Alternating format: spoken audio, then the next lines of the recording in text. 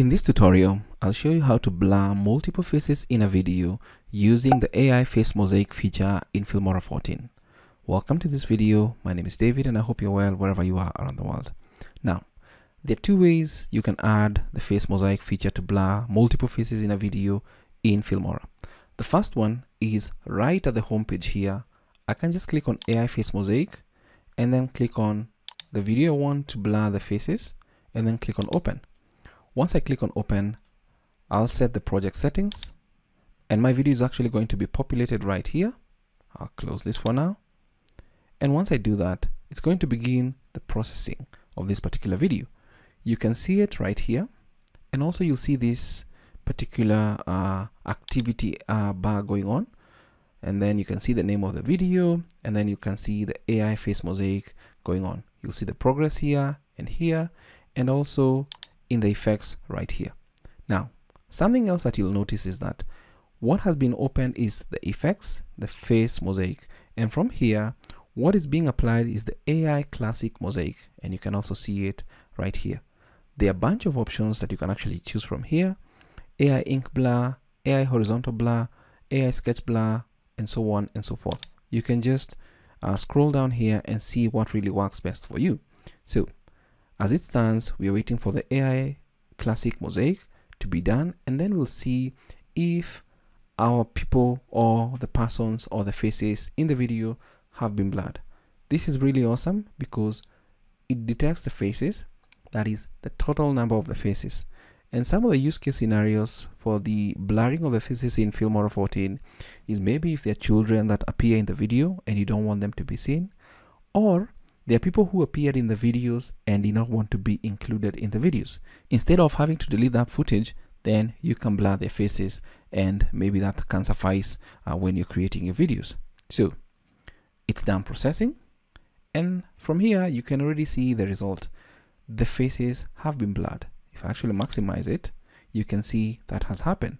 Now, what I want you to take a note of is, is this drop down here it has detected faces. How many? Six of them. If we count uh, the people here, there are six. One, two, three, four, five, six.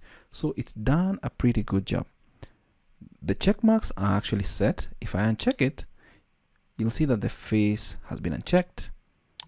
This one has been checked. So let's assume these people did not want to be seen in the video. Then you still have your video with the people that you want their faces to appear.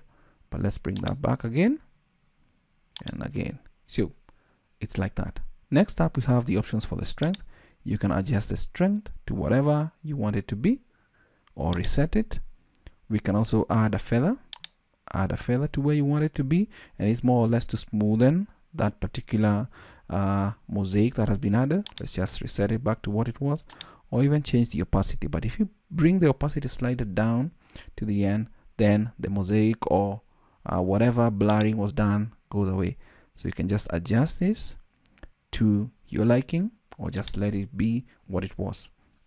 Now there's also an invert button here and depending on uh, the face mosaic you've used then this can be inverted. If I click on it it can be inverted but for this one it does not come out the way it should be.